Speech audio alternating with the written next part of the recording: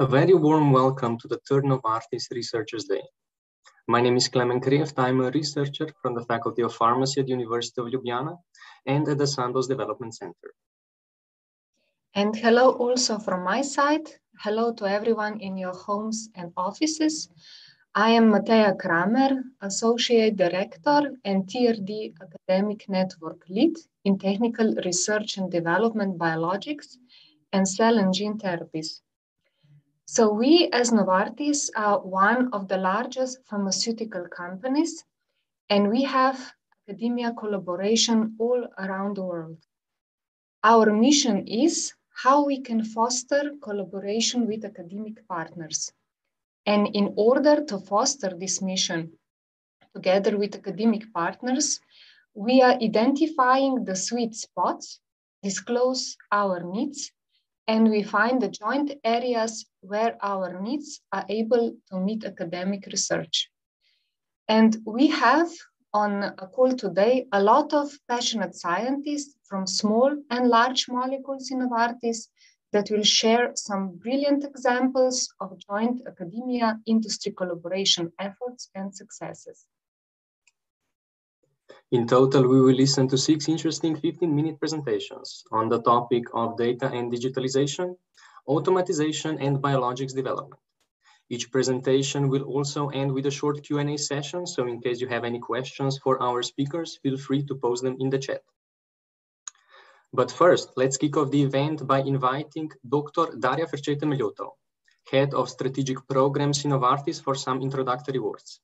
Daria made many academic collaborations possible, and she continues to foster brilliant relations with our academic partners. Daria, the stage is yours. Thank you very much, Klemen. Thank you, Mateja, for a nice opening. So I am really honored to have the opportunity to welcome you all at this special occasion when we uh, gathered, uh, where we come together already for the third time in a row to celebrate science, innovation, and collaboration between industry and academia. For us in Novartis, this year is additionally special because we celebrate 75 years of Lek 25 years of Novartis and 15 years since we at Sandoz have offered the first biosimilar drug product to the patients as the first company in the globe. Many of our achievements all along the timeline come from sustainable collaboration with academia. And this is what we are especially proud on. Proud and thankful to our universities, research institute, and faculties, professors, students, and researchers that worked so hard and so smart and kept pushing the limits of science and practice to the sky and higher. Even the COVID pandemic couldn't reduce our engagement. On contrary, we have strengthened our ties to best serve our purpose and patients all along the way, we have been generating new solutions, concepts, and technologies, fostering new competencies and supporting economic growth. All along this way, open innovation ecosystem has been growing, embracing always new partners, also in the field of entrepreneurship. Collaborations are needed on all different levels, also interdisciplinary and internationally, including also wider social environment and regulators. Altogether, we shall provide prosperous working and living environment for the best talents to stay connected.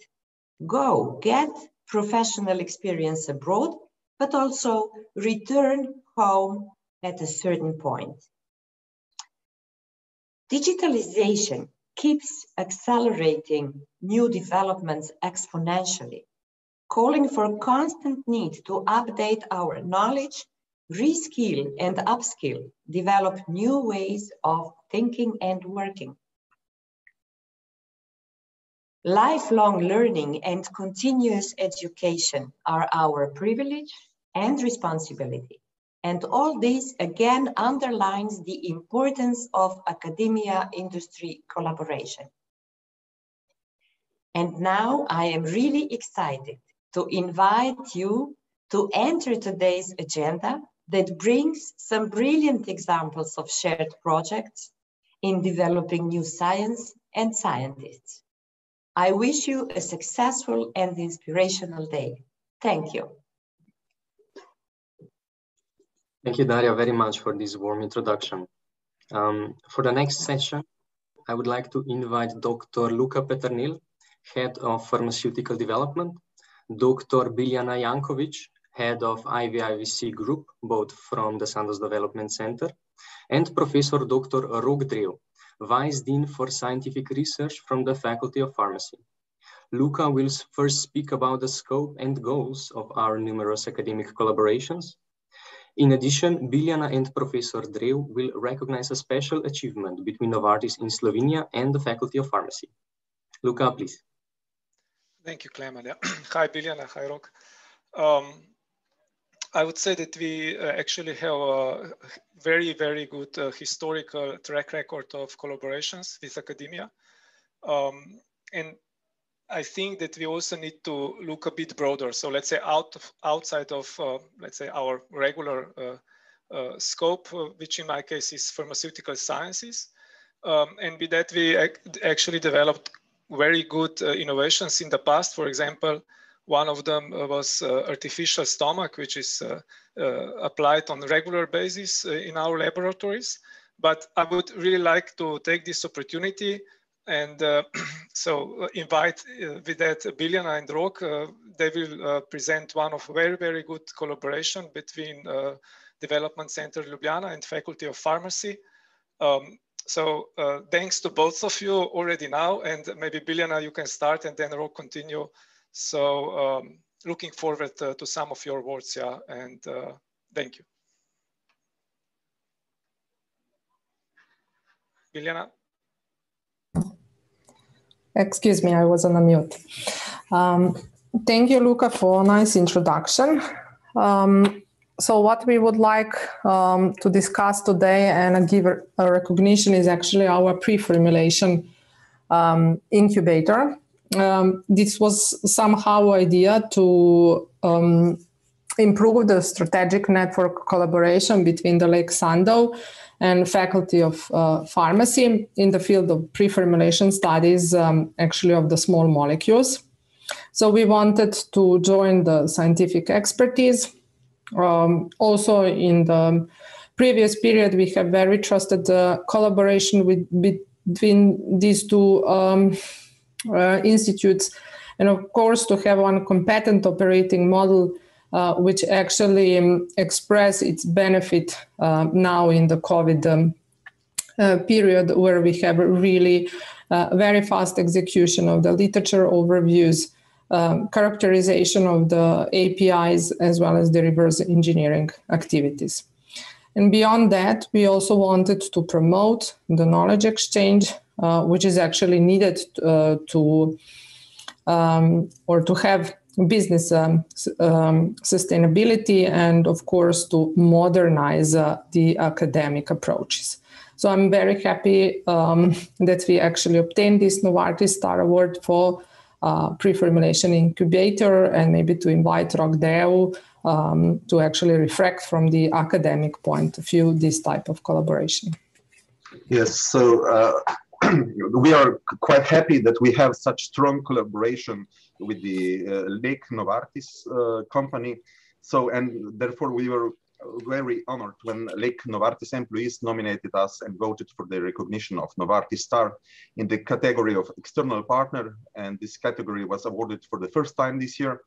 Uh, this recognition is certainly an incentive for further cooperation in the already established areas of pre-formulation incubator that was described uh, earlier and the human resources development project, uh, which is an ongoing project for, for several years uh, and this could be also an, an, incentive for the potential establishment of new areas of cooperation. Of course, we are also additionally pleased to be recognized by Novartis Star as Lek has been a long-term strategic strategic partner of the Faculty of Pharmacy, uh, contributing to the development of the faculty's educational programs and the growth of its staff, those who leave the faculty for industry and those who remain with us. Uh, the award uh, confirms the long-term orientation of the faculty that only the academic environment that is open to solving the real professional challenges remains competitive and in the service of the society. Uh, the collaboration with Lek undoubtedly enriches us and is, in our opinion, an excellent example of value-added collaboration between an industrial partner and academic institutions. So we are looking forward to future collaborations. So thank you. Uh, I mean, thank you both uh, to a leader from our end, uh, Sandoz Development Center, and Rok to you so looking forward also to future uh, great collaboration. Yeah. So thanks uh, to both of you and uh, Klemen. Thank you. Thank you all for your wonderful talks. Um, I'm convinced that our collaboration will continue to flourish in the future. And in this slide, we are now continuing with one of the amazing collaborations between the Faculty of Pharmacy and Novartis in Slovenia.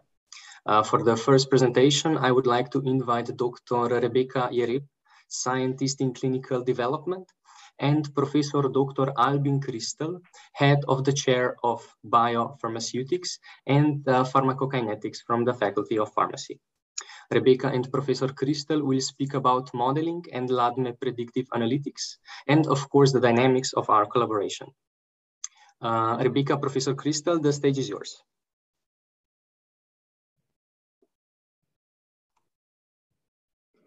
Okay, thank you uh, for these nice words. Uh, I will start with the presentation of our uh, joint project. Just a second. Um, I hope it's okay. Yes. Is it okay? Thank you. Um, just a moment. Yeah. Well, uh, I will have a few words on the Human Resources Development Project between Lek and uh, Faculty of Pharmacy. For the introduction, I would uh, just briefly uh, like to mention the speciality of this project, which comes out from our differences. Uh, there are significant uh, differences between academy and industry as shown on this very slide. Uh, our common field is the part here in between where new general knowledge is binding with innovation and reflects the entrepreneurship.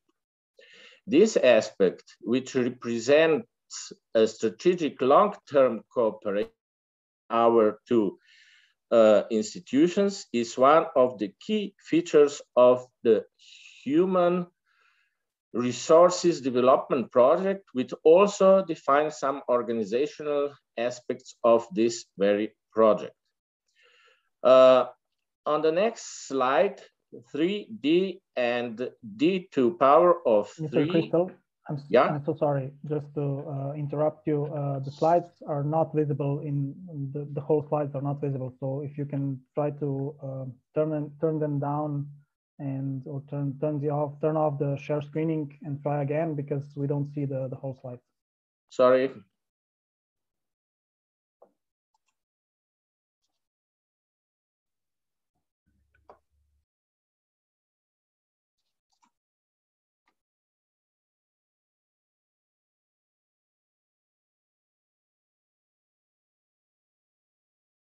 Try again if uh, it will work. Is this better?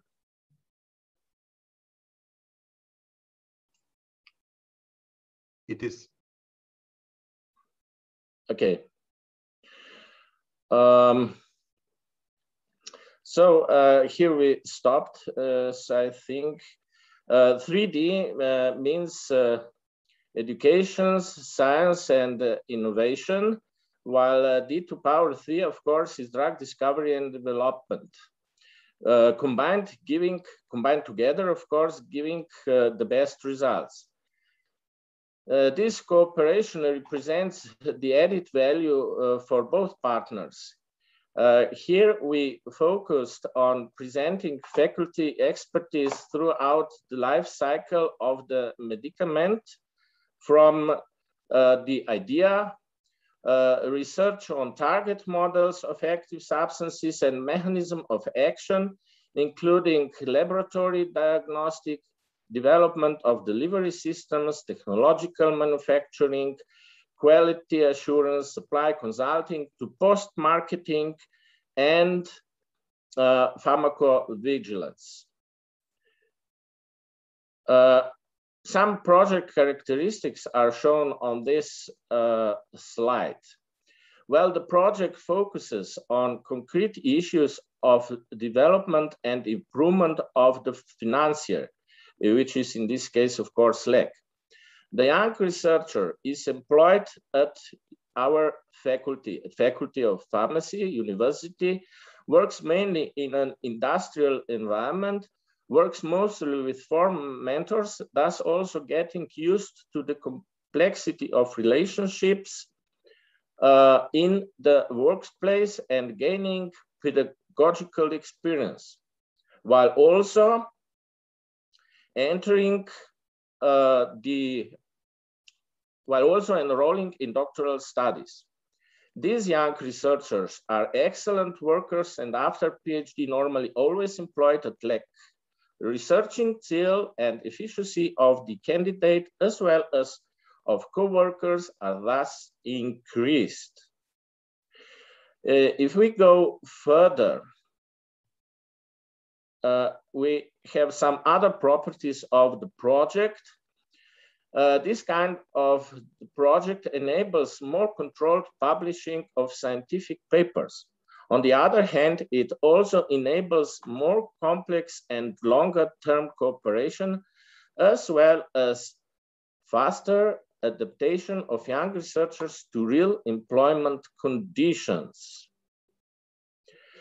And uh, about added value of the projects is in the development of various competences, not only on the uh, part of the young researcher, but also on the part of the mentors or coordinators of the individual project as shown on this slide.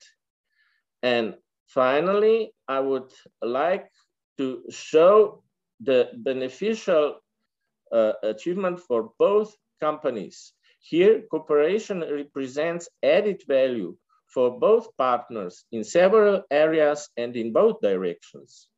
In the transfer of knowledge, skills and experience in human resources and in the professional development of the individual and institutions for better medicines and better care for patients. Thank you. Any questions? Maybe? I think I will continue with the presentation and then we will have the ah, questions. Sorry. Okay, I will go out away. Um, stop share. Thank you. Sorry, Rebecca. Okay, I will continue with the presentation. So, um, hello everyone. I'm Rebecca. Um, I was uh, um, participant in this project that Professor Kristl mentioned, and he was actually my mentor. Um, my the title of the doctoral thesis on which I worked on during this project was development and application of physiologically based pharmacokinetic models for evaluation of influences on drug bioavailability and bioequivalence prediction. I would like to just shortly introduce you into the topic of my uh, thesis. So I was dealing with in silico modeling of LADME processes, so liberation, absorption, distribution, metabolism, and elimination of drug substance after drug product administration. We can use simple compartment models to describe this, such as the one seen here, where we can see that the dose is administered into the central compartment, it um, distributes to the peripheral compartment and then eliminates. Using mathematical equations, we can use this model to predict or describe plasma concentration profiles versus time for a specific drug substance. On contrary, physiologically based pharmacokinetic models are something similar but more complex. They account for physiological and anatomical properties of organisms, such as vol volume of fluid in the stomach, the transit time through the gastrointestinal tract, and so on. They also account for physicochemical and biopharmaceutic properties of the drug product and the active uh, pharmaceutical ingredient, such as the solubility at different pH, the API particle size, the permeability of the API. They are mechanistic models and a representation of one kind of this model can be seen here on the right. So you can see that gastrointestinal tract is divided in several compartments. In each of those compartments, the drug substance can be unreleased, undissolved, dissolved, or then absorbed. And for the describing the distribution within the um, body, we can use simple compartment models or we can use full PBPK models with a number of organs such as muscles, liver, um, respiratory tract with a specified blood volume and the permeability of the drug into those compartments. And again, we use these complex models also to predict plasma concentration profiles for the specific drug substance. Why are we interested in these models in generic industry? Um, here are some examples on which I also focused during my research work. So we were interested in differences between formulations, between test and reference formulations. Uh, first of all, to evaluate bioequivalence between the test and reference formulation, since the bioequivalence is the primary goal in our generic industry. We were also interested if we can evaluate the effect of dissolution specification on in vivo behavior of drugs and we were also interested in the food effect on the bioavailability and how it can affect the bioequivalence of the test and reference drug. And uh, the last part was focused on in vivo variability we can observe in, um, in our clinical studies. During the first time, I've developed a PBPK model to predict the differences between formulations since our formulation had, uh, the test formulations had API in amorphous form and uh, reference formulations had the API in the crystalline form, we were able to incorporate these differences in, a, in the model and also to predict the differences we could observe in vivo. We also published a research article in the cooperation, uh, of course, with the uh, Faculty of Pharmacy. The second point I mentioned before was we were interested to set clinically relevant dissolution specification using the developed models. One of those models was used here, for example, to evaluate if this slower dissolution at the first time point has any impact on the in vivo behavior. And here we can see that the model predicted no significant difference in the Cmax and AUC, and those this would be established as a safe space for this formulation. This, this was also regulatory accepted, and we again published a research article with this topic the third part of my uh, research was evaluating the food effect on the bioequivalence and bioequivalence in the fed state.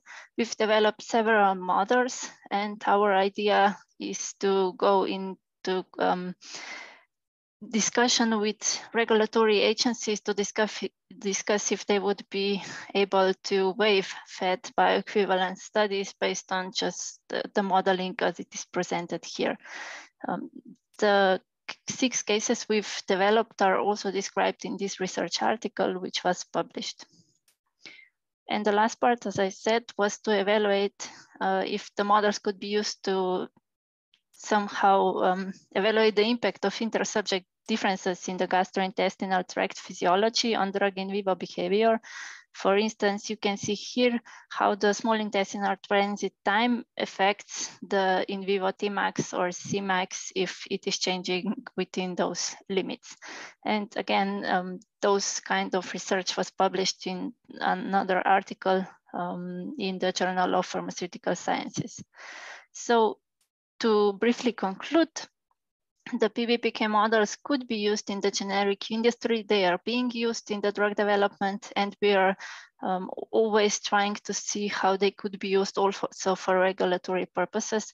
And the use of PBPK modeling could lead to decreased number of clinical studies being performed and thus to decrease development time of drug products and decrease costs of the these products, which could all lead to faster and more affordable generic medicines being um, applied on the market. I would just like to acknowledge the IVIVC and clinical development at Lek. Igor and Irnea were my mentors at the, um, Novartis and at the University of Ljubljana, my mentors were Dr. Uh, Professor Albin Kristl and Professor Simon Žakelj. Now I would thank you for listening and uh, if we have any questions. Klemen? Uh, thank you, Rebecca and Professor Kristl. This was very insightful and interesting. Um, maybe first, Rebecca, I would I would start with a question. So um, you've talked about a lot um, about regulatory agencies and speaking with them to acknowledge some of your models. But on the other hand, your research was also partly academic and focused on your PhD. So I was just wondering how much are this, um, is this modeling actually used for product development in uh, Sandoz Development Center or Novartis in general?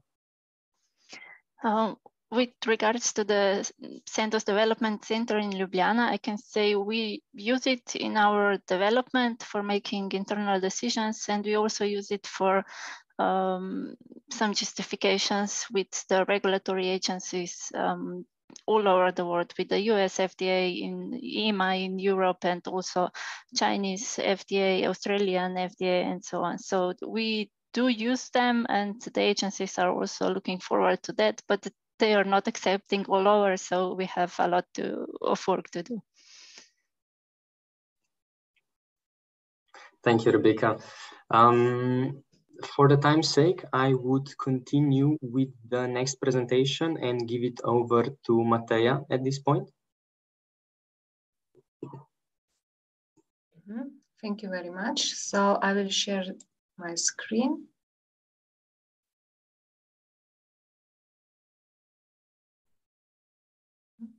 Do you see? Yes, yes we, we can see it. Mm -hmm. Okay.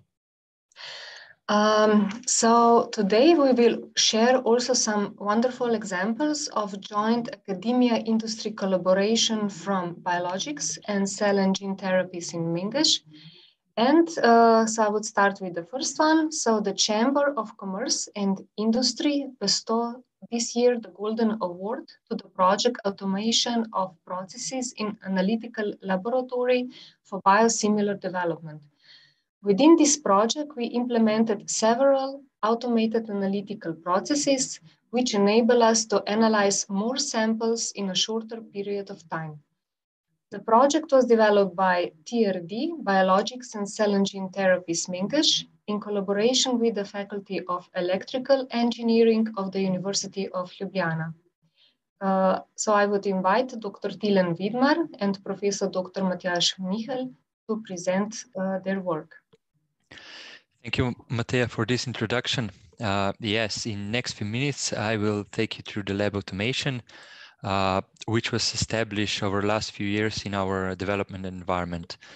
In general, automation is well known in connection to production or manufacturing process, uh, but in last decades, it's also connected in development area, and uh, we're covering the routine part of development and this is also uh, our our scope as uh, the scope of our presentation.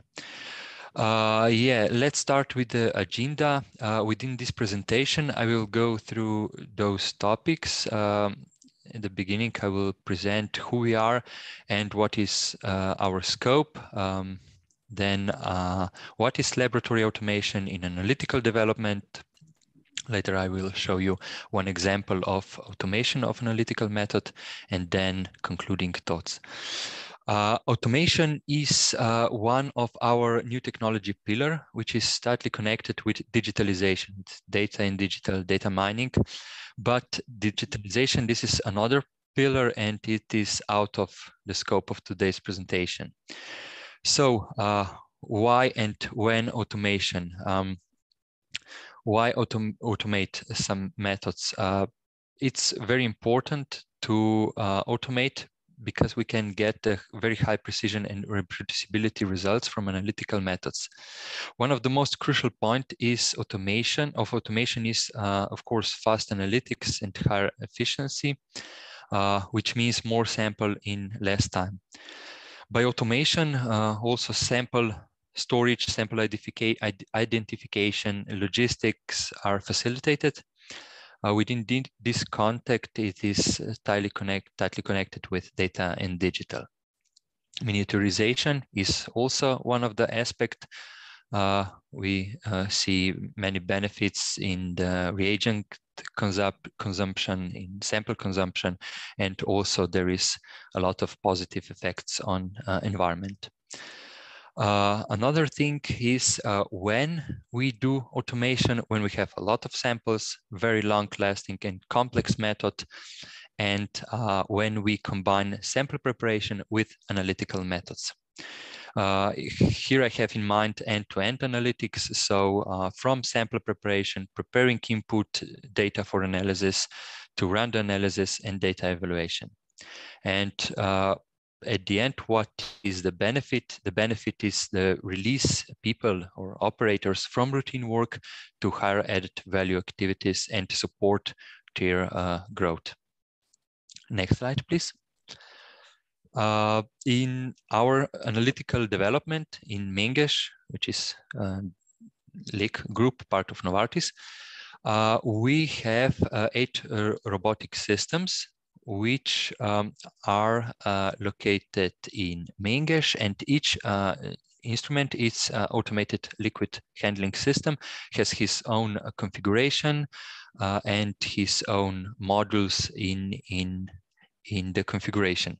So the core of such automation system is um, liquid handling liquid pipetting arm and robotic manipulator arms, which enables to first to pipette uh, different volume from 0.5 to 1000 microliters from different positions, from different wells on the platform. And uh, the, the um, um, the, the scope of, of robotic manipulator arms is transfer those plates to different instruments which are connected within a robotic system. Uh, we have established such system to expand um, knowledge over all operators who are working in a lab. Uh, with other words, we actually do here a giant step from ma manual pipette to automated liquid handling system.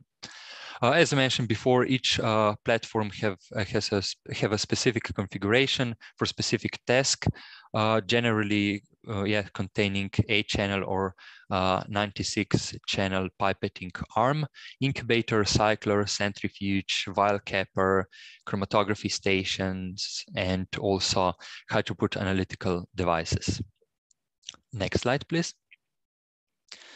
Uh, so here I listed some of the uh, fully automated analytical methods. And uh, if you go very briefly through, through all these, uh, first is small scale protein A purification or immunoaffinity purification.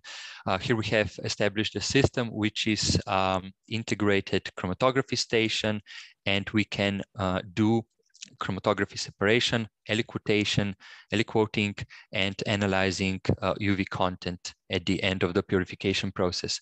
So this process is fully automated without human intervention during the process. The same is for ELISA.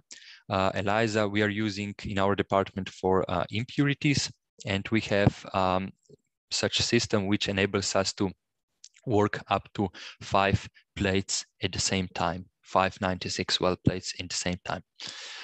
Another is high throughput content measurement. Um, and uh, sample desalting and concentrate concentrating. Here I would like uh, to expose that here we put a lot here we put a lot of our internal knowledge to develop a special insert and special holders for amicon tubes, uh, and we uh, which uh, enables us to fully automate to fully automate this process. Uh, throughput capillary electrophoresis on lab chip. I will um, spend some minutes later on.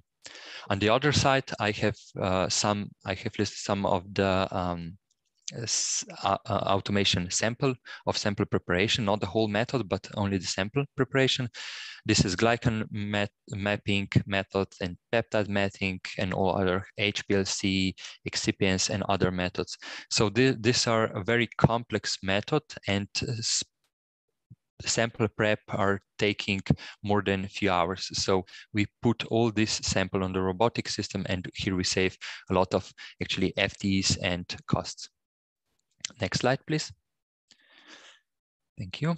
Uh, I will sh show you here on, uh, one example um, of um, collaboration with academia.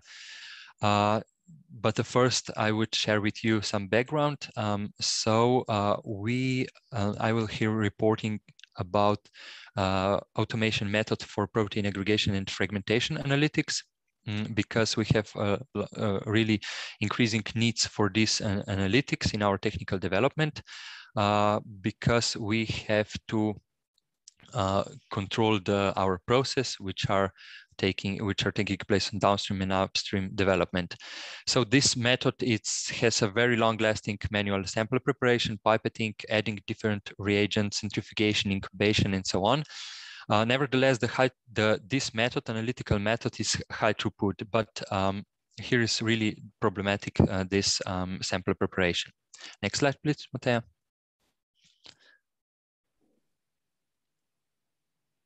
Yes, so to do this automation, we have to first fulfill some requirements. The first is um, move from tube to 96 well plate format.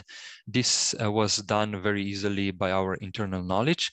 And we also established a fully automated sample prep on uh, liquid handling system for reducing and non-reducing condition. And we also implemented, uh, in, do implement, implemented the centrifugation and incubation process. But what was the main issue is to connect two different machines. One is um, um, which means uh, liquid handling system with analytical instrument, which is in this case lab chip. So here we need hardware and software drivers, but the problem here was that those drivers and those connection was not available on the market. So we are uh, looking here for the custom-made solution. And mm, we uh, are contact we contacted our uh, colleagues from Faculty of Electrical Engineering, the group of robotics, which is led by Professor Dr. Matjaž Mihelj. Uh, they helped us to establish this communication, which based on uh, client-server communication. So that was one of the way how to we uh, connect Tecan with lab chip instrument and establish those communications. And the result was a fully automated process with uh, increasing uh, walkaway time of, of, of our operators. And what is all uh, important that all relevant data uh, for analysis is imported at the beginning of the process and without human, the process runs with, without human intervention during the process um, yeah, the collaboration was uh, really great, and uh, yeah, we we are also looking for for for further collaboration on this field. Next slide, please. Uh, yes, to conclude, um, I would like to emphasize the scope of lab automation. Uh, automation in such way enables us to support uh, more drug development uh, project at the same time, enhance precision and re reproducibility, reduce sample con consumption, and release people from routine work. Our future vision is uh, further increased operator work walkaway times, uh, continuous improvement. Here I have in mind introduction and establishing of the state-of-the-art technology into our processes, and of course, what is the most important is to further collaborate with academia. Um, after all, we strive to build tools that are thoughtful, convenient, and empowering uh, to push our pace of development forward.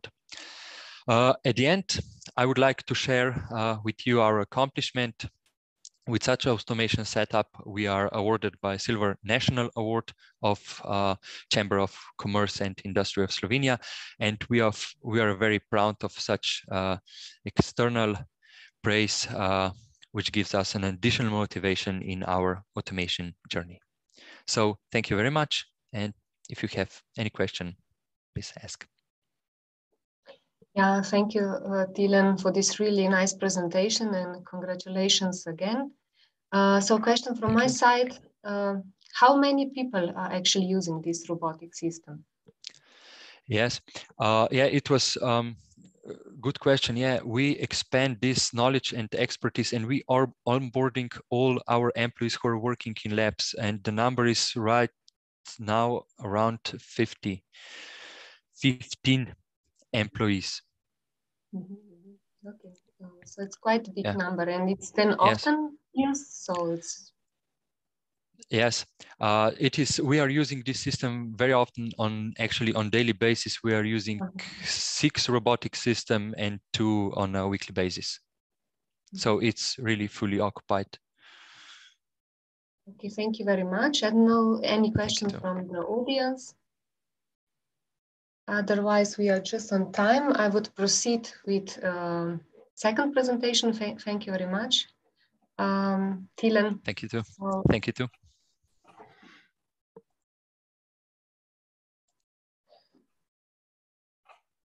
And now we continue with the second topic. Yeah. Um, so uh, we are continuing with um, second presentation and Dr. Andrei Pohar is a senior expert science and technology in bioprocess technologies in Mengeš, and he will present his project together with assistant Professor Dr. Blaž Likozar from National Institute of Chemistry. So Andrei and Blaž, the floor is yours.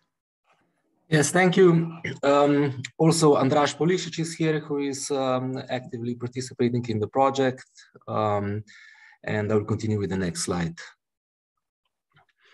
So I will present some cooperation between uh, and National Institute of Chemistry. Specifically, this is Department D13, Department of Catalysis and Chemical Reaction Engineering. Head of the department is Blaž Likozar and it is a chemical engineering department. It's dealing with chemical process engineering, reactor and unit operation, design and construction, also with multi-scale process modeling and the biopharmaceutical processes. The reaction topics are uh, develop, uh, developing the reaction mechanisms, obtaining uh, chemical kinetics and the transfer phenomenon, also the thermodynamics and fluid dynamics, and we have had cooperation with um, the departments of uh, uh, biopharmaceuticals and also small molecules. Here on the picture is an example of uh, chromatography, and uh, we've done also a lot of cooperation with crystallizations in small molecules. Uh, next slide.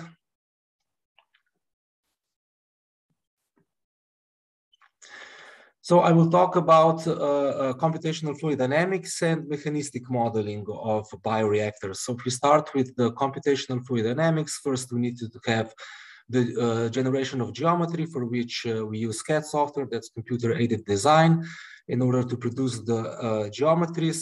Uh, some of the geometries need to be made according to mathematical rules.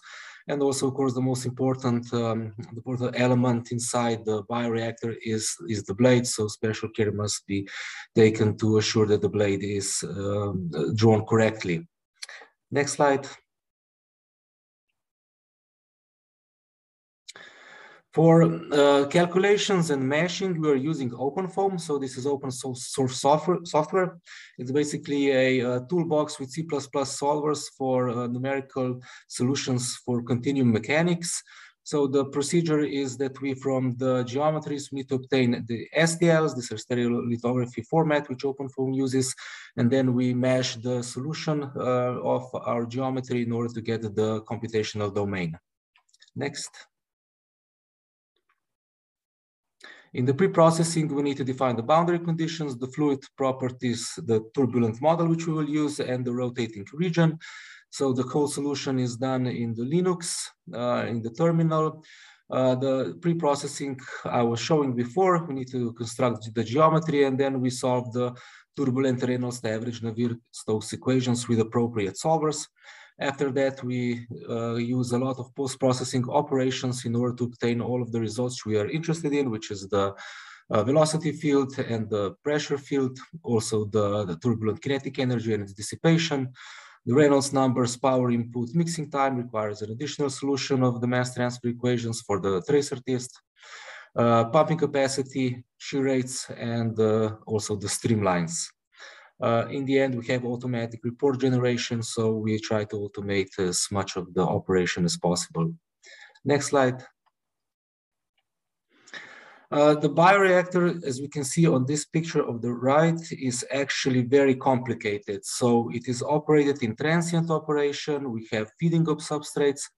It is a two-phase system uh, with gas and liquid and also cells and uh, substrates. So actually it's free, free-phase system. Um, if we look at the basic reactor concepts, which are the engineering ones, the batch reactor, uh, or can be operated in fed batch mode also, the continuous stirred reactor, plug flow reactor, and the plug flow reactor with axial dispersion. All of these basic uh, reactor concepts can be found and we are using them to simulate our bioreactor. So as I already mentioned, for the operation, which is very complex, we also have sparger flows, we have overlay, overlay flows, we have gas bubbles, which have a different constitution. Then we have all of the regulation of the feeding, mixing, dissolved oxygen, pH, and temperature, which all need to be accounted for. Next slide. Um, one thing we need to model is, of course, the headspace. Uh, it depends, the total mass balance depends on the feeding rate and also on the sampling rate, which also needs to be acknowledged. We have the overlay gas, sparger gas, and then the outlet gas constitution and the mass transfer rate, which takes uh, place across the surface of the, of the bioreactor uh, medium. Uh, in this case, we need to determine the KLA of the surface, which is the mass transfer coefficient. Uh, it will depend on the power input uh, or power per volume, uh, depending on the volume of our reactor. And this is a value which we obtain with computational fluid dynamics. The other thing is it depends also on the sparging rate, which depends on the uh, regulation of all of the all of our critical uh, parameters in the reactor. Um, the KLA surface is very important also for scale up and scale down configurations because uh, in smaller reactors this will have effect. We will have, see the effect of the overlay gas and the mass transfer through the surface while at larger reactors this is not so prominent and most of the most of the mass transfer takes place through the bubbles uh, which come through the sparger at the bottom of the reactor. Next slide.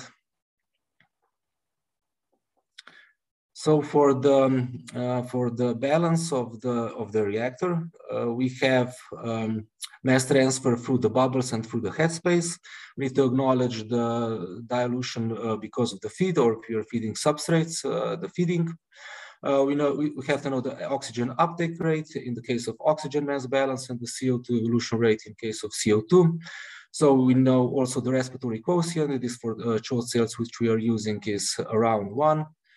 Uh, we need to add the reactions. The first reactions, which are most important, are the uh, dissolution of uh, carbon dioxide and all of the reactions which take place after that.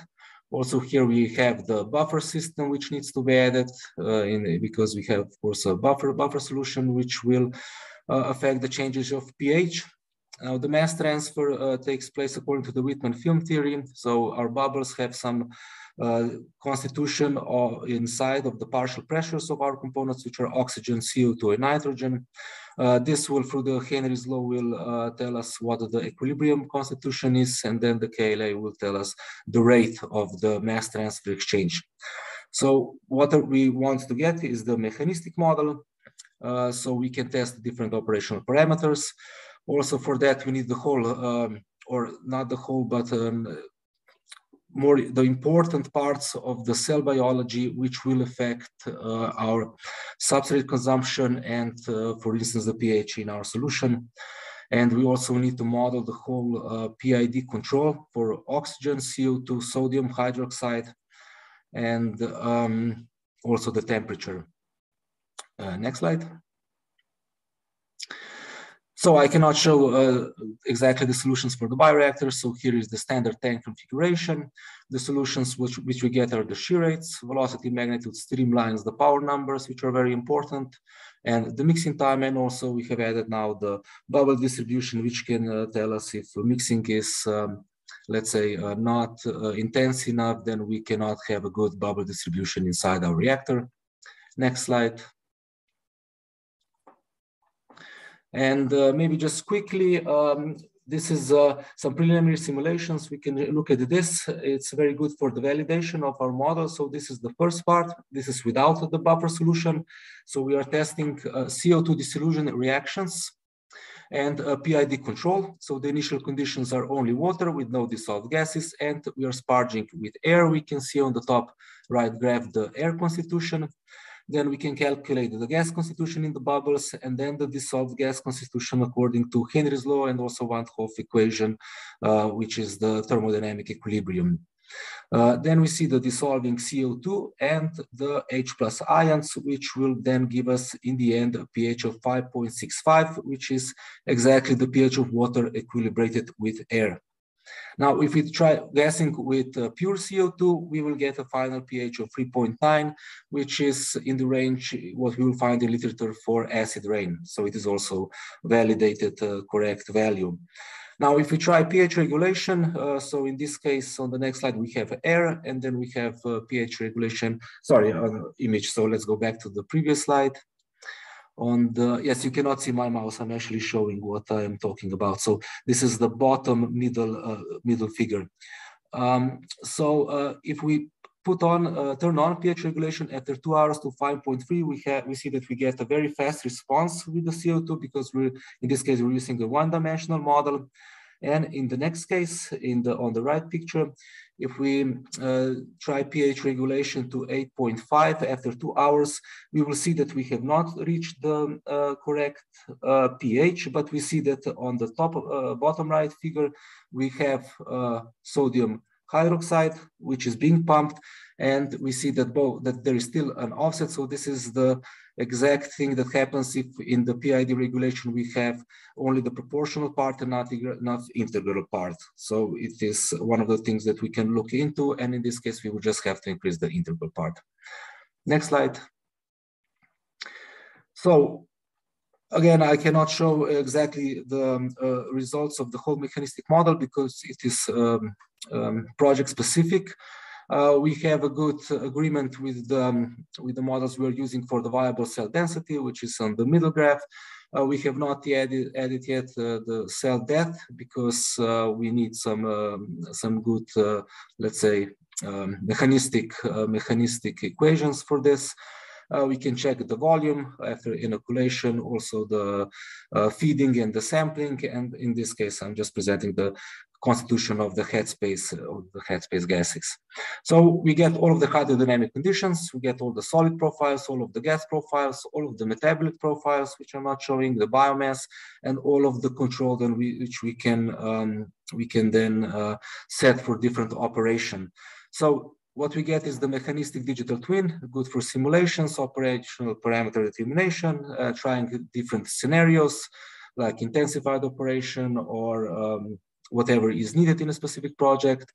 And in future work, there is still a lot uh, that has to be done, calibrate uh, for all scales and obtain the correct correlations for the transfer coefficients, which are of course uh, dependent on the gassing rates and on the power input. Uh, technology transfer and scale up outlook, this is maybe what we are using them uh, the most. Okay, thank you. If you have any questions. Uh, thank you very much for this presentation. Uh, so a lot of work has been done really, so thank you. I have a question. So how uh, can the modeling results be used for scale up? Uh, yeah, scale up is actually one of the most important things uh, along with the technology transfer because we are dealing with different reactor ge geometries. Um, one thing that we have found is that, I mean, it is already well known, but still different strategies are being used that the power input is a very good scale up criterion. Uh, the power input will exactly ensure that we have um, also then the same gassing rate because those two will affect the mass transfer uh, of the of oxygen into the solution, which will have to uh, be compensated because of the um, the oxygen uptake rate of, of the cells. Mm -hmm. Thank you. Do we have any question from the audience, from the participants? Otherwise, I would like to thank you, Andrei, uh, again. Um, and uh, if Klemen, you agree, I would suggest that we continue with the presentations and maybe have more buffer at the end to discuss. Um, so with that, okay? Yeah, yeah, sure. Uh -huh, okay. So then I would um, now uh, ask Grega, Hrov Hrovec, sorry. Uh, so this is the last presentation from Biologics Mengeš. So he is expert science and technology from drug product process development. And he will present another very important topic, modeling of downscale model design and parameters for filter validation. Uh, so in Novartis, we are at the cutting edge with this expertise and specific capabilities were gained in collaboration with Faculty of Mechanical Engineering, University of Maribor. So Professor Dr. Matjaž Hriberšek and Grega Hrovec, I hand over to you. Hello, everyone. Um, do you hear me? Yes. Okay. I'm Grega Hrovec, expert science and technology, part of TRD DPD, like uh, already Mateja said. Uh, today I'm here with uh, Professor Dr. Matjaž Hriberšek, uh, Head of Process Engineering and Computational Fluid Dynamics Laboratory at Faculty of Mechanical Engineering at the University of Maribor. Uh, there is a history of our collaboration in filtration projects. So lately we collaborated in a project, uh, like Mateja said, modeling of downscale model design and parameters for filter validation which will be presented today. The project started in December of 2019 and ended in September uh, this year. Uh, um, so long story short, uh, the filtration process is really important for us and as much as uh, we, we can about uh, filtration mechanisms and scalability of filters. So from laboratory scale to production uh, in this project was building a model which can calculate the energy intake uh, in filters while using continuous and intermittent flows. Uh, at this point, I would like to give a word to Matjaž for deeper insight of a project. Please, Matjaž. Thank you, Gregor. Uh, warm welcome from Maribor uh, from Faculty of Mechanical Engineering.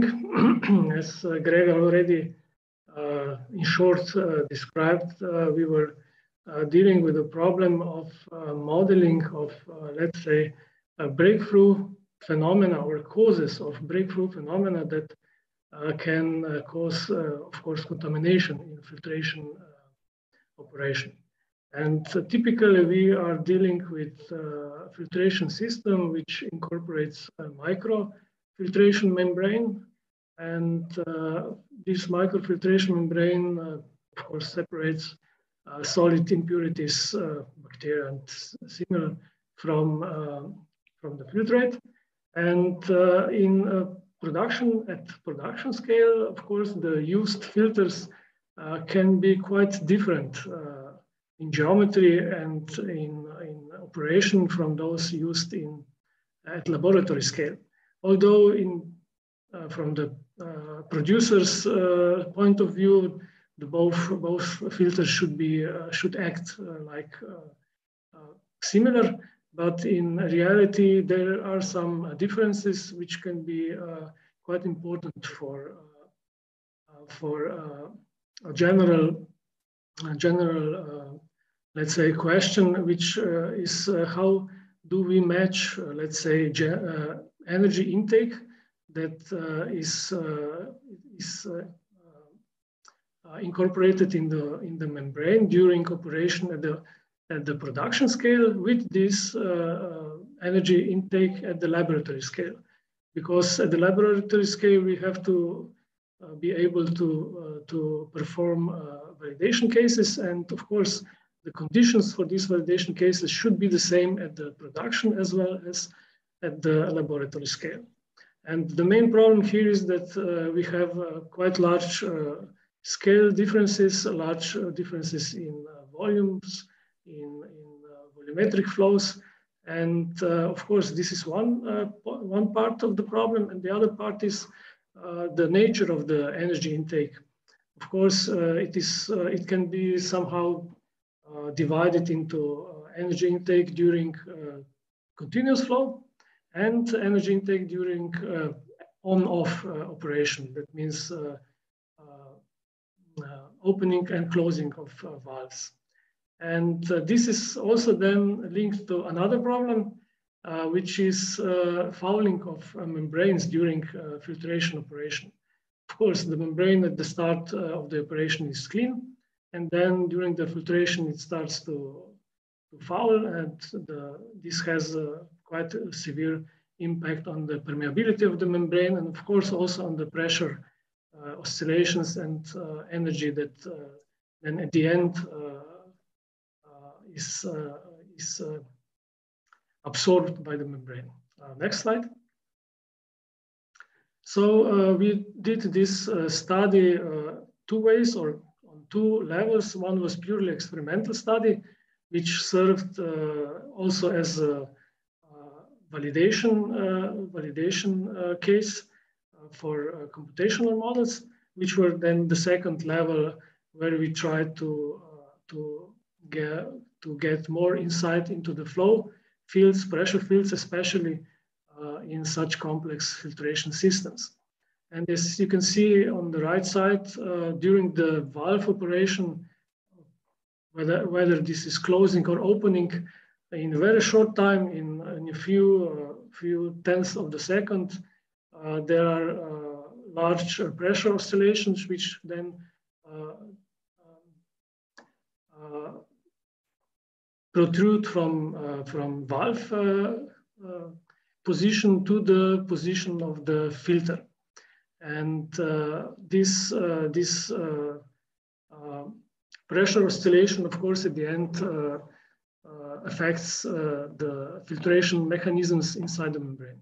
Next slide. Next slide, okay. Uh, here we can see also a computational uh, results uh, for one quite simple problem. It's a laboratory scale uh, filter it's quite, quite small filter, uh, but uh, still the, the action of the moving pin uh, produces pressure waves. In this case, this is closing of the valve. And uh, these pressure waves uh, then, then produces power, power waves or pressure power waves, which at the end, of course, hit the membrane. And a part of this uh, energy, energy is then absorbed by the membrane. And there is, as you will talk a bit uh, this later, there is a difference between whether this happens on the production or at the laboratory scale. Uh, next slide. So if you want to have a good computational model, then of course you have to understand how this fouling or how this, uh, this uh, membrane uh, clogging is taking place. And that's why before the start of this project, we did another study for Lek uh, where we developed uh, specially custom customized uh, models for, for um, main fouling mechanisms that can be met in filtration praxis. And this, this software now enables the users in Lek to to uh, determine which fouling mechanism is taking place for a certain, let's say, combination of filter and of course uh, the, uh, the formulation that is filtered.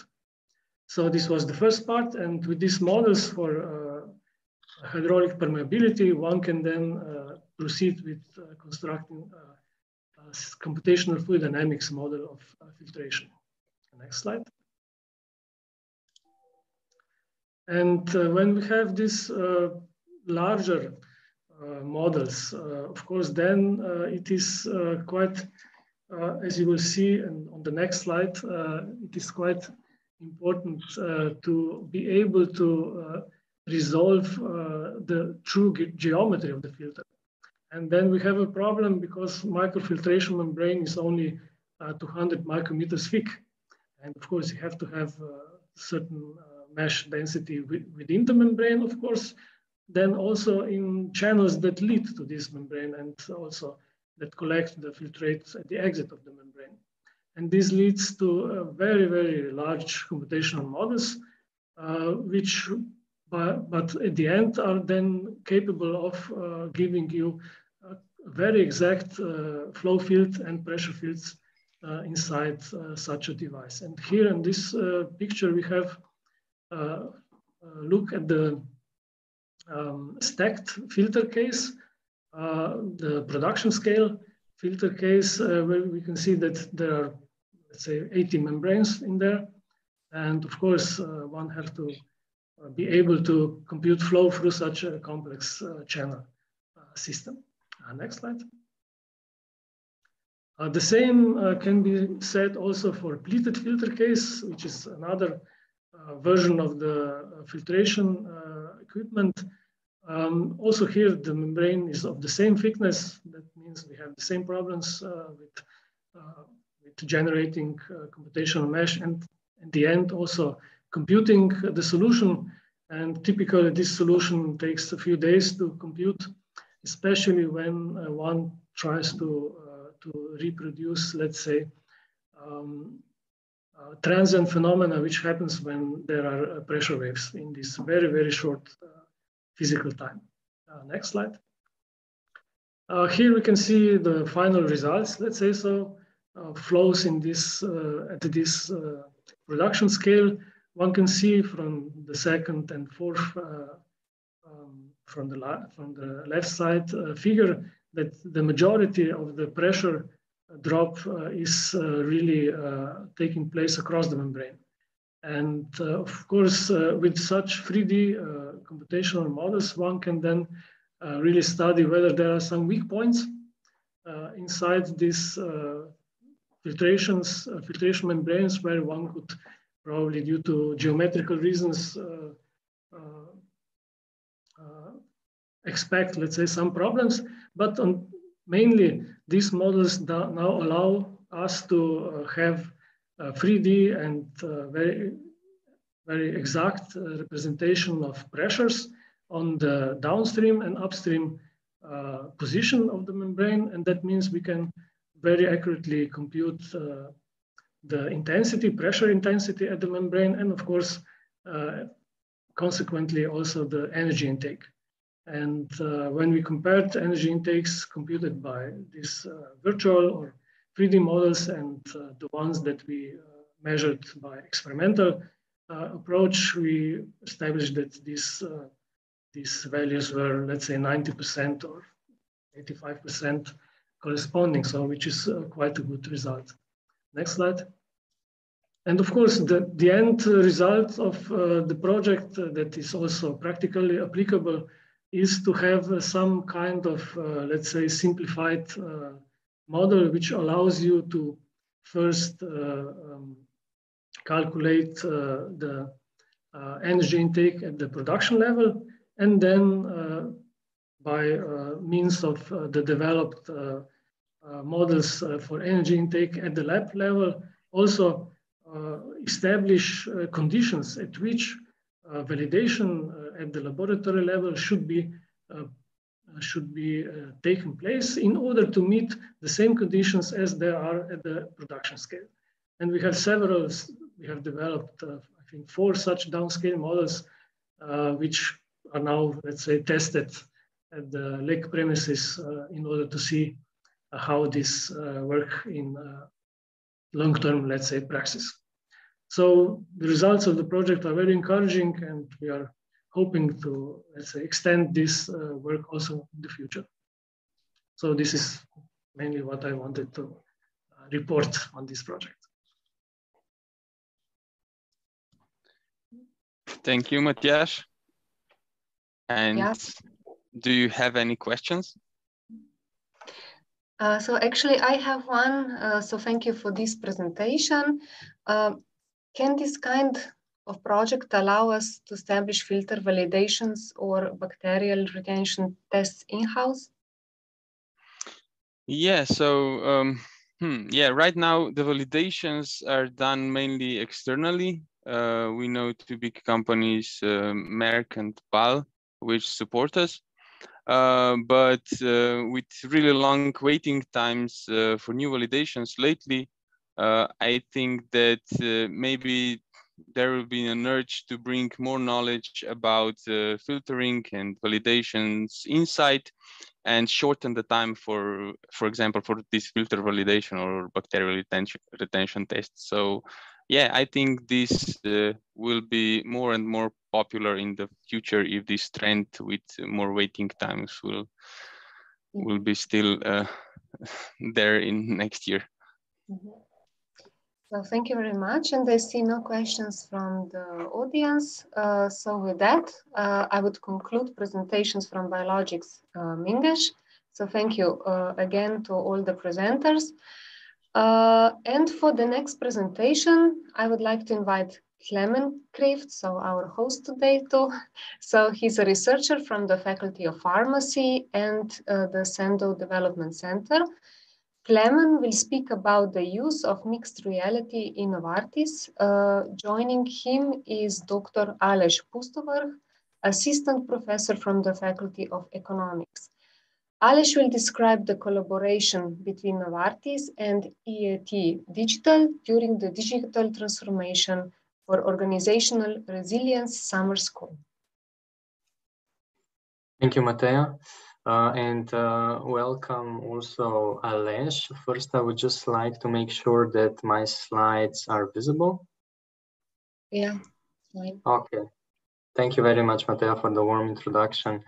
Um, so yeah, today I'll speak about mixed reality and how we use it in Novartis to um, improve our day-to-day operations.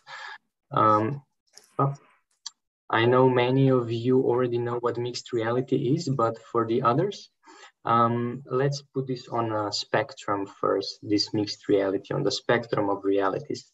So um, here on the left-hand side, we have our real environment. This is the world that we live in, that we sense with all our, with uh, all five of our senses. Um, and on the other hand of realities, we have virtual reality. This is a reality we can access with the virtual reality headset or goggles. And this place is completely digital and it basically replaces our real environment. Now, a merger of these two environments are augmented in mixed reality. So here we actually overlap some digital information over our real environment. And in case of augmented reality, we can see and observe this digital information, but we can't really interact with it.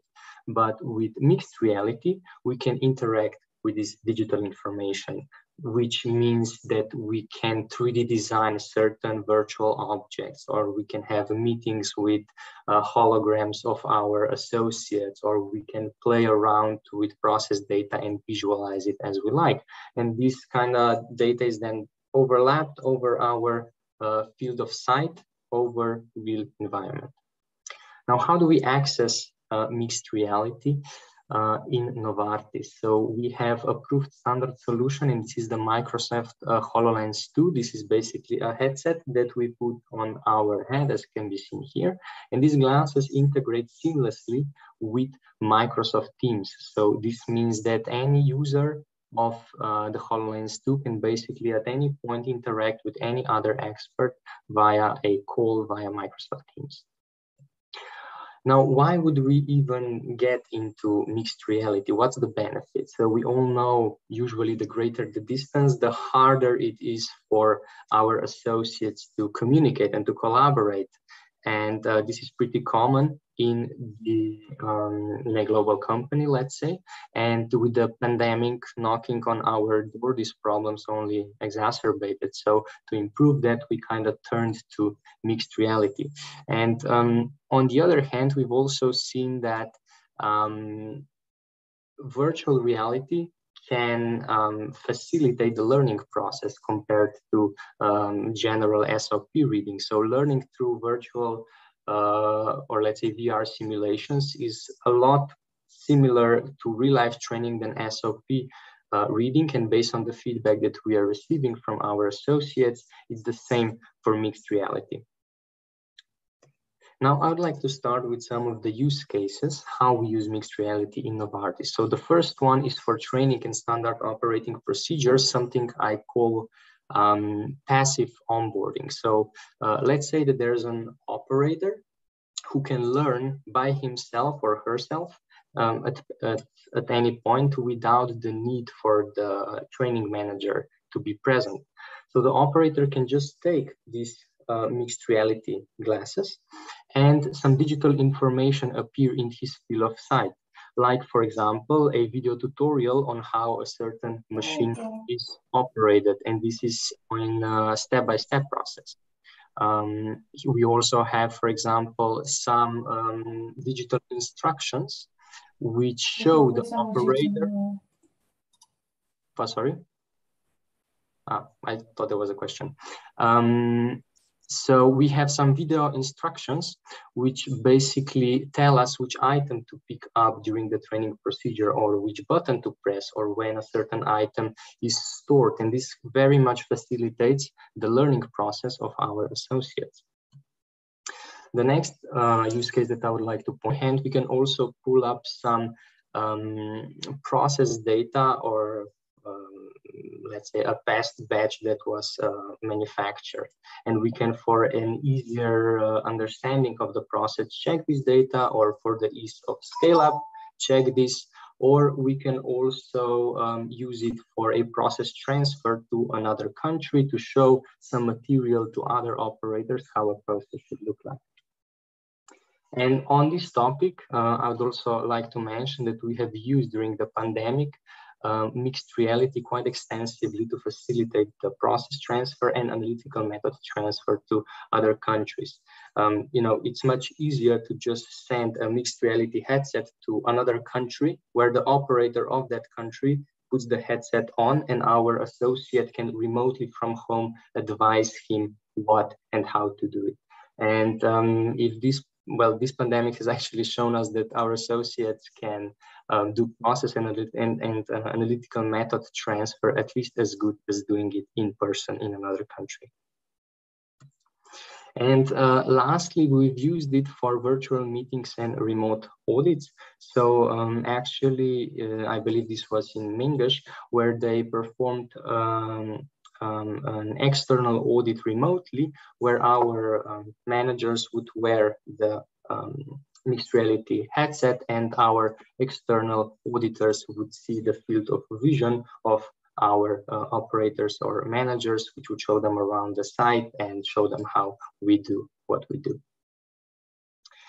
Now, uh, these were only some of the use cases, but we have recognized the potential of mixed reality to kind of use it beyond the scope of just duration of the pandemic because some of these use cases were pretty specific to the pandemic. So we developed one tool for all our needs and this is the project vision which basically um, works to improve communication collaboration and day-to-day -day operations. It is basically a platform in the digital world with four um, options to select. We have the remote assistance button which um, helps us or which gets us an access uh, to, to, to an expert for something.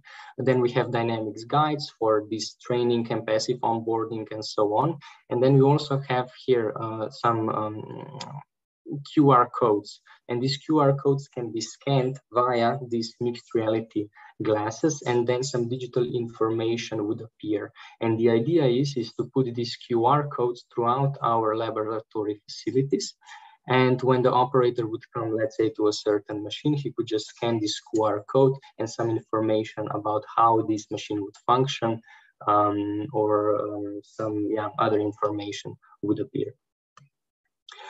Um, but we know that we're not the only experts on mixed reality. There, there's much more talent out there uh, who know much more about mixed reality and virtual reality than we do. Uh, so that's why we decided to partner with EIT Digital specifically. We became um, case providers for their summer school. And now I would like to invite Dr. Aleš Pustovrh from the Faculty of, of, Economics at the University of Ljubljana to uh, present our collaboration with briefly. Uh, thank you, Klemen. Uh, thanks a lot for the for the introduction. Uh, just to confirm, you can all hear me. Is that correct? Yes. Perfect. Um, I didn't prepare any slides because I want to talk about the story, and and the story actually starts three years ago when um, when University of Ljubljana became a partner of EIT Digital, and EIT stands for European Institute of Innovation and Technology.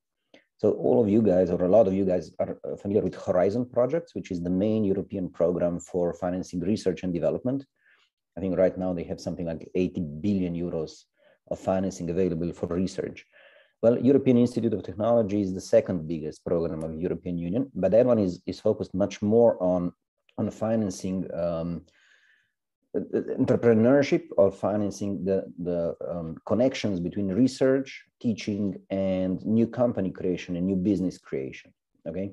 And for that reason, it is always organized as a network of different partners. There are some, in, in particular case of EIT Digital, there are some 20 universities, but altogether, I think more than 200 different companies and other organizations. Uh, EIT Digital, uh, I must say, is only one of the different uh, areas that they cover. There is also EIT Health. Right now, EIT Urban Mobility is starting, and in the future, uh, creative industries are also starting. All of these different EITs are organized in different industries, so they are industry specific. And at the same time, their intention is very simple. They want to connect um, big companies, small companies, universities, and students and, and people in general um, on, on very particular goals to enhance and to improve the collaboration in research and development in Europe. Their main goal actually is commercialization of research and creating new successful companies in Europe. So what EIT Digital does, among other things, is they try and they, they um, educate a lot of students. They have a master's program, they have a doctoral program, and they also have a summer school. University of Ljubljana School of Economics and Business here has been implementing the summer school for EIT Digital students for the last three years in the field of connecting entrepreneurship and digital technologies. Unfortunately, only the first year was live. It was a very, very interesting on-site here in Ljubljana. The next two years were both organized in a virtual capacity using all the tools that we are very familiar now already. Um, but I must say it was still pretty interesting because we put together a group of 20 plus students from all over the world. And these are some of the best students that we work with. They, they come from uh, almost every big country you can imagine. And they, we put them together with Slovenian students and they form groups. And for two weeks, these groups are you know, solving specific problems, solving specific challenges. Novartis has, um, in both of the last two years, contributed challenges. And one of the challenges actually was the mixed reality. So there was a group of students from all over the world working on, on solving the challenge of how to, to use the technology, the mixed reality technology, to enhance and, and you know, improve the business capacity um, and the innovation capacity of Novartis. The reality is that every single time after two weeks of this summer school, we are always surprised how good solutions uh, students can actually come up with. Um, very interestingly, they don't have to be in the same room. They can be, you know, basically these students have never met before. And still, if the challenge is well prepared, and Novartis challenges are always very well prepared, uh, they can come up with, with some really, really good solutions. And these solutions are then um, you know, available to companies and hopefully the companies and Novartis in particular will then actually implement these ideas, these solutions presented by the students. But the second benefit is also that these students, again, these are some of the best students that we encounter, and, and we see a lot of students at the University of Ljubljana. Uh, they, first of all, uh, get to know Novartis, they get to know the, the specific areas of research and, and entrepreneurship that you're working on but also they are some of them are quite motivated to uh, actually join uh, you know join your company. So i do believe there is a lot of potential and and in, to further collaboration. Uh, we already know that we're going to have the next summer school next year. Hopefully this time it's going to be live again and this kind of collaboration with different institutions different students across you know whole europe is a typical example of open innovation system. And I'm very happy that Novartis is actually recognizing this as a very, very good opportunity um, to, to expand the reach beyond the borders of the company. I don't know, Klemen, if you wanted uh, me to talk more about the specific mixed reality challenge or uh, was this general background enough? Uh, I think it was okay. Um, I would just like to also mention that we are looking forward to uh, the future EIT digital summer schools and that we've always been very um, happy or satisfied with the solutions that these students um, that. Yeah, so I'm looking forward to our future collaboration as well. Another interesting uh, thing that is happening after the summer schools is not only that the, the companies are being connected to the students, but also the, all the companies that are providing challenges here, Novartis being usually one of 10 different companies that do so, are you know getting to know each other and and all of these companies are you know facing somewhat similar challenges so now you also have for example you you can uh, you know you can collaborate with danfoss for example who was providing one additional challenge there um, and, and they know exactly the, the the field and you know the, the problem space um, that they're in, that you're in. So I think that one um, surprising consequence of this summer school was actually more collaboration also between different companies. Of course, these summer schools are taking place across Europe at the same time as we have one in Ljubljana. There are 10 or I think 11 additional ones happening in different cities across Europe.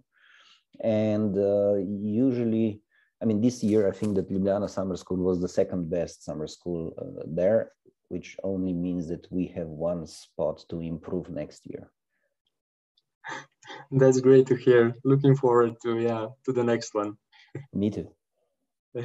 Uh, and Aleš also made a very good introduction to EIT Health as well, because I now don't need to explain what it is. Well, basically, it's an, an innovation consortium of big, small companies, universities, startups, and various experts on the topic of health innovation. And we've actually joined with them uh, as well. And together, I have to point out with the Ljubljana University Incubator in um, uh, organizing a hackathon again on the topic of mixed reality, where we will again search for um, solutions that we hadn't thought of yet or that um, we we just don't see at this moment. And with this uh, collaboration uh, we believe that we will find some new solutions for implementation.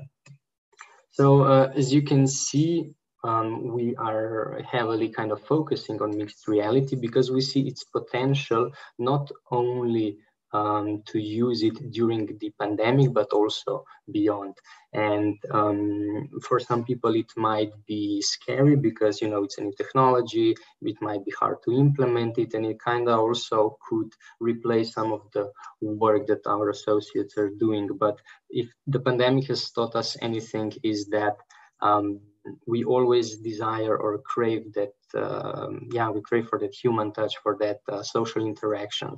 And mixed reality um, cannot give it on its own. It has it's only a medium that's transferred that. So i believe that um, for us in the foreseeable future uh, mixed reality is a only let's say a tool in our arsenal to improve our communication collaboration and day-to-day -day operations. Um, and with this, I would like to conclude uh, this presentation and thank again Aleš for um, also jumping in. Thank you, Klemen and Aleš, for this uh, great presentation. Uh, so, Klemen, you talked about scanning QR codes with the HoloLens headset to obtain additional digital information. Can you elaborate with an example how this would work in a pharmaceutical manufacturing facility? Yeah, thank you, Mateja. That's a, that's a great question. So um, imagine that you have in your laboratory many of these QR codes for every possible yeah machine or, or application. And um, the idea is, or our next step would be now, is to put these QR codes next to machines and then get an expert who would, with his uh, mobile phone, uh, get a selfie and scan his face and based on that make an avatar of himself so that in the digital world um, or in the mixed reality world, he would then explain uh, how something works. And then as, as an additional options in these QR codes, we could also store um, inside some PDFs or some leaflets or some additional documents which could be useful for our operators to know how a certain device functions. Uh, and in the background, we um, um, are trying to basically do a text to speech conversion so that the um, so that the the the avatar is explaining from the text so that no voice needs to be recorded.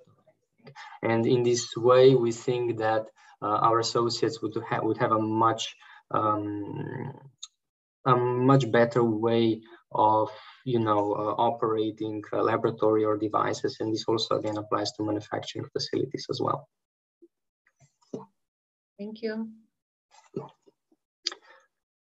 Thank you, Mateja, as well. Now um, for our last speaker, and Aleš, um, thank you very much again for joining. Um, for our last speaker, I would like to invite uh, Žiga Perko head of continuous performance improvement and a member of the leadership team, uh, team in Sandoz Development Center. Žiga's talk will be on the topic of reimagining drug development in Novartis with data and digital technologies. Žiga, this will be very interesting. Please go ahead. All right. Um, thanks a lot, Klemen, for the introduction. Really excited to be here. Um, excellent examples that we've seen throughout the event today. Um, and I'm also personally uh, very enthusiastic about the future that will ensue from the projects um, that we've seen. Also, the vision that you shared with us. Uh, I think the future holds a lot of exciting opportunities for us in the industry as well as everybody in the academia area, right? And, and giving us an opportunity to join our forces and hopefully reimagine how uh, drug development is done, right? And this is the area that I would like to focus on uh, today a bit more as well. So um, instead of focusing on everything that has been done so far, I would like to give us an outlook into what's coming, what we are focusing on in uh, Novartis, and how we can really leverage uh, data, digital technologies to change um, say our operating model or at least how we were approaching um, drug development or generic drug development in um, the past. So I know that the pharmaceutical industry has this uh, maybe tag that historically we've been lagging in the adoption of digital technologies. Uh, but in Novartis and, and Sandoz, the generic division of Novartis, we are working really hard um, to change this. Um, what we've seen in, in the past century is really an incredible um, progress, we can say, um, from the discovery of penicillin prior to the World War II um, um, uh, times, all the way to, we could call them uh, pharmacological miracles of the, for example, cell and gene therapies that came to market in, in recent years. And both Novartis as well as Sandoz have played key roles in, in this story. Um, Sandoz, especially, you know, from discovering of the first oral penicillins uh, all the way to uh, first biosimilars that we've also heard about um, today. And as a community, uh, we've made huge strides um, towards improving um, the access um, to healthcare. Uh, but we really haven't solved um, the access issue completely, right? If we if we look at the World Health uh, Organization, they are estimating that over two billion people still lack access to um, the therapies they need. And this is not the case only in developing countries, uh, but also across um, developed world, right? So we are seeing this trend of growing um, healthcare costs, and this absolutely impacts um, access everywhere. And what plays a big role in combating this is the off-patent competition. Um, this is probably the single greatest contributor to driving the uh, healthcare uh, budget savings and increasing access um, uh, to needed um, medicines. And if we look, uh, for example, to Europe, um, there was a study done by our trade association um, that showed that generic uh, alternatives allow twice as many patients to access key uh, medicines for, for the same budget, right? So this really shows the impact that generic industries have on patients' lives. And when we're talking about patients, they are really at the center of our um, purpose. So pioneering access for uh, patients, this is quite simply the reason uh, why we exist. And it's a driving force behind um, our strategy and behind everything uh, we do. And to put you know, our uh, purpose and our strategy into practice, uh, here at Sandoz, we have um, over 20,000 really talented colleagues across the world with you know, impressive commitment to each other and to our culture um, to really um, drive this access to new generic medicines uh, for patients. And together with that, and with our ambition to become a leading and most valued generic um, company, we see digital, you know, as a key enabler to help us uh, achieve this, um, to help us realize um, um our uh, purpose um, and enable uh, our products to be uh, available to as many patients across um, the globe.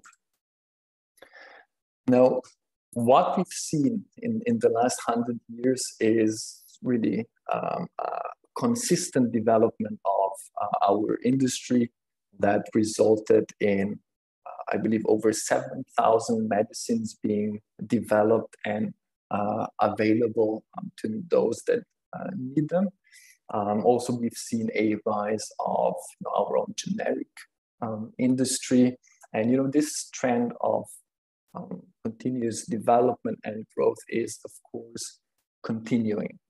Um, but what is even more fascinating, perhaps, is that we are seeing, um, let's say, in the past few decades, um, a really exponential growth of the um, data and digital uh, segment. Um, and, and to put this uh, digital revolution in, in perspective, for example, um, that's been driven also by the explosion of big data. Um, in the past two years, for example, 90% of the uh, world's data has been created, right? There is um, an estimation that each of us creates two megabytes of data every second, right? So those numbers are um, sometimes mind-boggling and difficult to imagine, um, but that's how much data we are uh, generating um, these days. And this, of course, has a big uh, impact on a number of industries, and pharmaceutical industry is no exceptions. And we see that digital is driving a big paradigm shift, right? So we see uh, a rise of automation about, and, and rise of machine learning.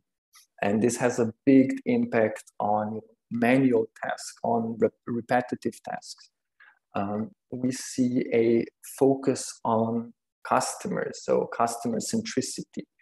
Um, um, and, and this is shaping then business models of, of different companies. Uh, there are a lot of um, companies that rose with this digital explosion and enabled to um, develop new business models, um, new expectations to how the products should look like, um, how quickly they should reach um, the uh, users or what are the life cycles. So um, a big impact on um, industries uh, all over the world.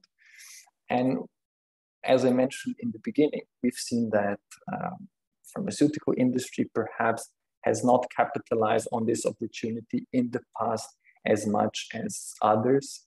And if we think about the words that I shared with you in the beginning, right, I believe there are 2 billion reasons uh, why we need to change this. And digital for us means asking big and powerful uh, what if uh, questions uh, that can help us launch new products sooner and more efficiently. Now, if we're talking about our development teams, that means, you know, asking how we can save time and focus on value added tasks, right? How we can get insights from this huge amount of um, R&D data that we have uh, um, in, in, our hands. Or um, how can we use connected data for automated regulatory file submission, right? So those are all big and very important questions that can ultimately lead to um, transformation of how new generic products are developed. What I would like to share with you now is a quick glimpse of how the development process of a generic drug looks like.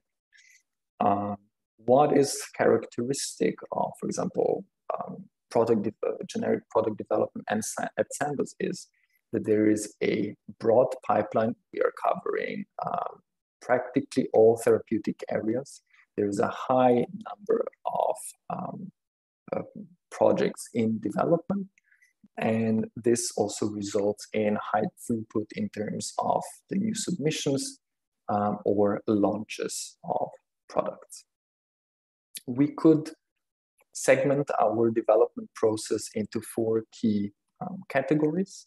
The first one is preparation phase, uh, where we are evaluating the product that we want to um, develop and set the strategy for the development. Um, then we start with the laboratory development. So that means uh, developing the formulation, the analytical methods, uh, which will be used to ensure uh, that we can prove that our product is uh, bioequivalent to the reference innovative medicine. Um, in the submission phase, what we are doing is transferring the product from our laboratory scale to manufacturing scale, um, testing stability, and also conducting bioequivalent studies um, to show uh, equivalence. And after we have a regulatory file uh, compiled, we um, submit it to the health authorities for review um, and, and start preparing for launch. Now, and during each phase of the development, there are a number of opportunities that um, we can uh, address with data and digital technology and make this uh, process even more uh, efficient and reduce the timelines uh, from uh, five to 10 years um, that it takes currently to launch a new generic drug from beginning um, to um, uh, something uh, much shorter. And when we're talking about our digital strategy, uh, what is important is to keep in mind that we are not doing this because uh, just for the sake of it, but we really want to deliver new generic products um, to patients in a large number of countries to drive access to, to these medicines. And for us, digital strategy is based on three areas. And I'll start with the first one, which is our core um, data uh, platforms that enable us end to end digital workflows and, and data management. And this is really important because we've seen data today is, is, is everything, and you do need a system to digitize your operations to capture um, the data and make it available for um, subsequent uh, use. The next layer of our digital strategy is smart operation, which involves um, primarily automation, anything from uh, robotization of lab equipment to uh, process automation uh, also in other segments of um, the development and um, our processes. And last but not least, once everything is in place, uh, we focus on in silico development. So that means using novel and disruptive approaches. We're using in silico modeling to replace uh, partially, partially or completely um, experimental work that was traditionally done in laboratories. Um, for the last few minutes, what I would like to do is share six examples of how we are applying um, our digital strategy in, in, in, in re reimagining generic um, drug development. Um, and if we start, first of all, with um, our laboratories, uh, what is key here is for us to ensure that we have state-of-the-art um, equipment can enable us to interconnect it, leverage the data that it um, generates and plug it into our um, digital uh, workflows. Um, what works in connection to this is uh, also lab automation. We've seen some examples already um, today. Uh, but in the last few years, we've really invested a lot in the automation of our analytical uh, activities. So, uh, installing and also developing a laboratory equipment that can automate some of those um, repetitive or sometimes tedious um, or, or, or um, dangerous uh, activities from a health and safety perspective, and with this increase our capacity. Uh, we've also um, created an internal team uh, that we call Digital Lab, who help us uh, develop a proof of concept solution and in a quick and it iterative way really address the needs of our teams uh, for um, you know new digital uh, tools. And what they have developed is um, uh, software that help us leverage the data uh, that was generated during the experiments and then being automatically populated into the report. So with this, we are saving uh, the time for our researchers and um, uh, automating the entire process of uh, creating a report. Next area that has been extensively highlighted today uh, already is augmented reality. So I think there's uh, no need for me to um, go much more in details because Klemen did an amazing job explaining how we're using this uh, technology to bring our scientists across the globe uh, closer um, together. Um, then we have um, digital lab uh, workflow platform that we use to bring um, uh, different lab equipment um, and our uh, experiment creation management and all the data that's being created um, during an experiment into one digital platform and repository. So in the beginning, you've seen a balance. So when something is being weighted, um, the data is then automatically um, uh, collected in the system. And this works for all different types of equipment, and is a big breakthrough that we have implemented or are implementing um, at the moment. And last but not least, it's data science and in silico modeling. With this, you know, we are really talking about the next generation of development and um, what we have developed so far and what you can see here is a uh, solution that help us uh, model different physical and process parameters of our products and see how this will impact, uh, for example, um, the in vivo or in vitro uh, results and, and see whether we are being close to um, the reference product. So to conclude, what I would really like for you is to stay curious, um, challenge the status quo because there is so much opportunity ahead of us and data and digital is really unlocking it. I hope that we will use this opportunity to get today to get connected so that we can address some of those uh, challenges together in partnerships between academia and industry. And I'd also like to um, inspire that you consider collaboration with healthcare and pharmaceutical industry and possibly even us in the future. So with this, if there are any questions, I'm happy to answer them. Um, thank you, Žiga, very much. Very much. This was very insightful. Um, in the chat, I'm checking, there are no questions, so I would have one for you.